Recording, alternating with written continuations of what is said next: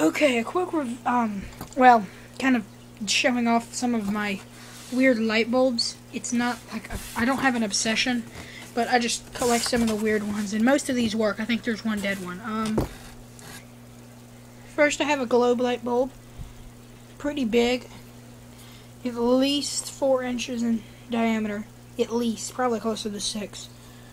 Um, yeah, uh, you can turn these into little betta fish tanks. I don't know if you've seen it online. It's on Make magazine, and the fish is naming it as Edison. It just sits like this on a wood base, and all the white's gone, and they took out the filament, and somehow, um, only thing about that, the glass is so thin, I would be scared it would break. There's that. Then we have, well, alright, another bulb.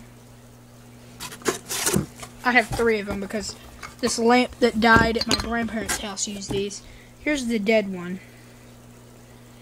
Uh, see, says bad. I was planning on making the fish tank out of that. Um, okay, we have a party bulb here. And what happens is this lights up and is red, but all these little tentacle things, uh, they glow and the tips of them do. And I don't know where you can buy these. We actually got these at a garage sale.